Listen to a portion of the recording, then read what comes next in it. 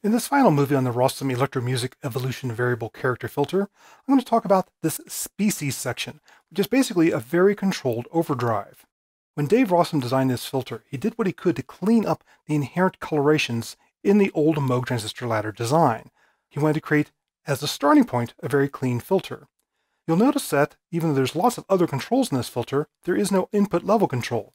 I've gone back to using the sawtooth wave from the Moog Mother 32, and even at pretty full level, there is no real distortion.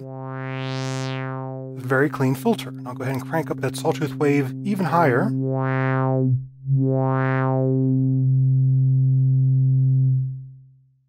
So as long as you're following Eurorack levels, you don't need to worry about accidentally overdriving the filter. However, sometimes purposely overdriving these devices can create interesting distortion. And in the case of a ladder filter, overdriving it causes distortion above the cutoff frequency.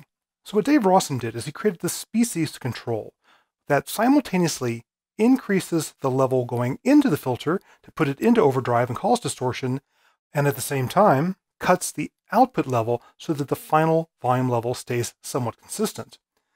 Normally, when you change the input level in a filter, you have to compensate for it somewhere downstream. You don't need to do that with the species control. I've gone back to using the sawtooth wave from the Mother 32 because it really shows harmonically and wave shape wise the different characters of the species control. I'm going to play a note. Go to a fair setting here, reduce resonance so we can see what's going on.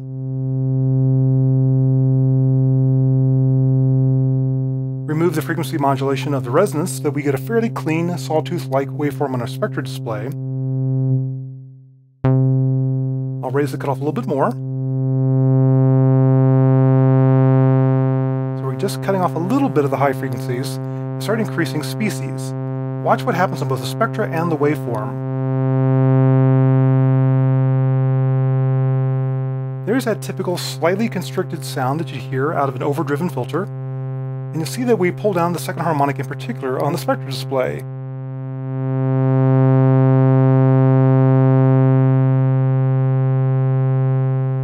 What I've found as you drive species even further, you go into a new zone, which really suppresses the even harmonics in particular.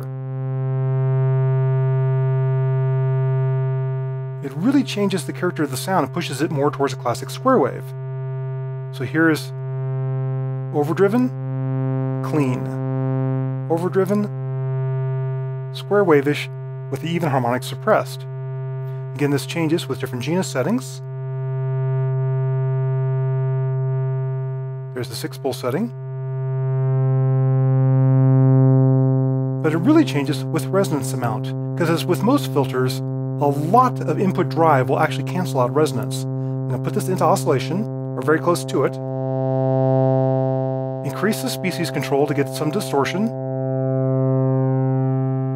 Notice that we're not clipping the output.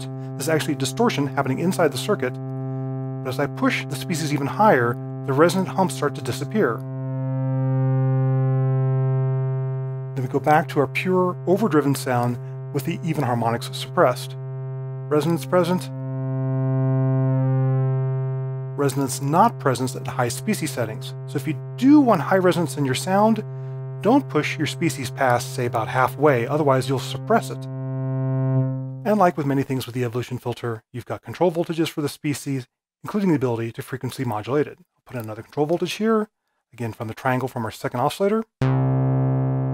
I'm increasing the FM depth to the species setting.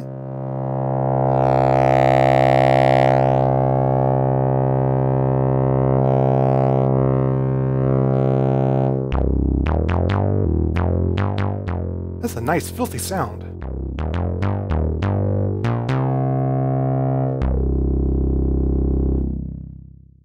So this is an extraordinarily flexible filter. When you first get it, you may think it's a bit too smooth or a bit too polite for your taste, but as you dive into it, you'll see it's actually very precise and very well behaved and allows you to get a lot of different filter characters out of it. As I mentioned before, it's my go-to filter when I need a low-pass Moog transistor ladder type sound out of my main system.